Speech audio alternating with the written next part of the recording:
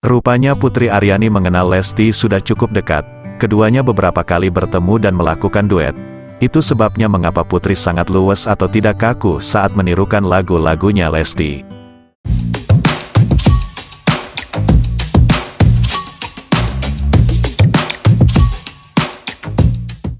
Sosok Putri Aryani saat ini tengah jadi perhatian dunia, Hal itu dikarenakan ia yang berhasil mengguncang panggung America's Got Talent dengan suara emasnya, hingga Putri mendapatkan Golden Buzzer dari salah satu juri Simon Cowell. Sejumlah artis tanah air pun beramai-ramai memberikan ucapan selamat serta ungkapan bangga pada Putri Aryani.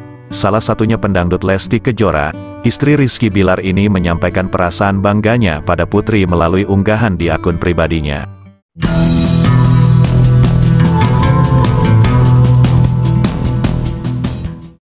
Dan setelah ditelisik, rupanya Putri mengenal Lesti cukup dekat.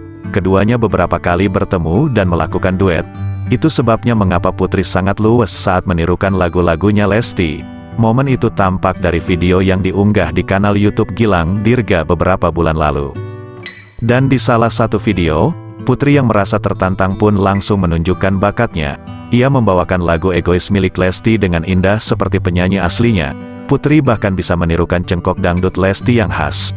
Gilang pun dibuat takjub dengan suara merdu Putri yang ternyata juga bisa menyanyikan lagu dangdut.